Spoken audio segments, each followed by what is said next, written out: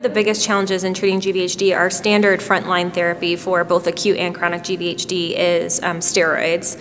Um, unfortunately, um, half or even less than half of patients actually respond to steroids. Um, and like I had kind of mentioned before, there's no real um, standard second line treatment option. It's kind of institution choice, and there's a, several different agents out there that have, you know, decent data, not fantastic data um, for treatment. And so, um, unfortunately, there's still a very high six month mortality of about almost 50% for patients that have steroid refractory GVHD. So, um, the ability to have something um, that has a lot stronger response rates, um, I think, is definitely a big breakthrough. So, in terms of uh, ruxolitinib, um, so this one has not received FDA approval yet for GVHD, but it has received FDA breakthrough therapy designation for treating acute uh, graft versus host disease based on a couple um, preliminary studies um, that have come out. Um, the biggest one was in 2015, um, published in Leukemia, um, and that was uh, looking at patients with refractory, steroid refractory graft versus host disease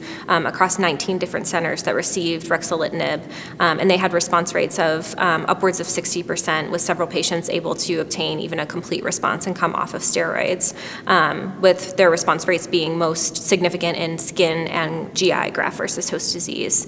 Um, there are several other studies that are underway, um, phase two and phase three trials, looking at um, using this in both acute and chronic uh, GVHD. So I think um, with the therapy, uh, breakthrough therapy designation, we'll expect to see um, hopefully an FDA approval soon, um, at least for acute, and then I wouldn't even be surprised if we see it for chronic. Um, as far as ibrutinib, ibrutinib in um, 2017 did receive um, FDA approval for treatment of steroid refractory chronic graft versus host disease based on a large study that showed 67% overall response rate, which is better than most other agents that we have for second line therapy for steroid refractory GVHD.